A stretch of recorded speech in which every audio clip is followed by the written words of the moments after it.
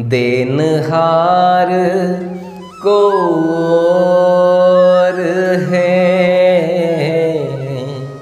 भेजत सो दिन रे देनहार को और है। भेजत सो दिन रे लोग भरम हम पे धरे। याते नीचे नैन रे भैया। याते नीचे प्रणाम। दोस्तों, किसी ने रहीम दास जी से पूछा कि आप जब भी दान देते हैं तो अपने नेत्रों को नीचा क्यों कर लेते हैं? रहीमदास जी बड़ी ही प्यारी बात कहते हैं और कहा जाता है, ये दोहा उसी संदर्भ में कहा गया है। रहीमदास जी कहते हैं, देनहार को और है। देने वाला तो वो भगवान प्रभु श्री राम हैं, जो दिन रात मुझे देता है।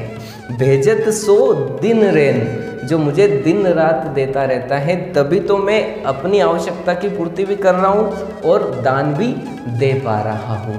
उन्हें इस बात का कभी अभिमान नहीं था कि मैं दे रहा हूँ, क्योंकि देनहार को और है, भेजत सो दिन रेन, जो दिन रात भेजता है।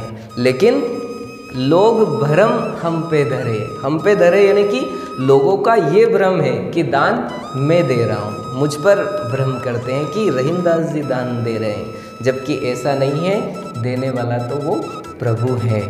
भेजत सो दिन रेन, लोग भ्रम हम पे धरे। याते याते यानी इसीलिए, याते नीचे नैन। इसीलिए मैं अपने नैन नीचे कर लेता हूँ, यानी कि खुद को शर्मिंदगी, यानी कि उनको शर्मिंदगी महसूस होती है कि देने वाला तो कोई और है और नाम मेरा हो रहा है।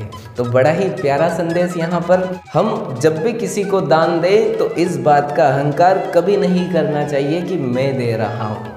क्योंकि देने वाला तो वो प्रभु श्री राम जी हैं जो हमको दिन रात देते रहते हैं। लेकिन एक हम हैं कि फिर भी इच्छाओं की पूर्ति कभी होती नहीं है। मांगते ही रहते हैं, मांगते ही रहते हैं। जबकि रहीमदास जी कहते हैं कि प्रभु ने सब कुछ हमें दे रखा है।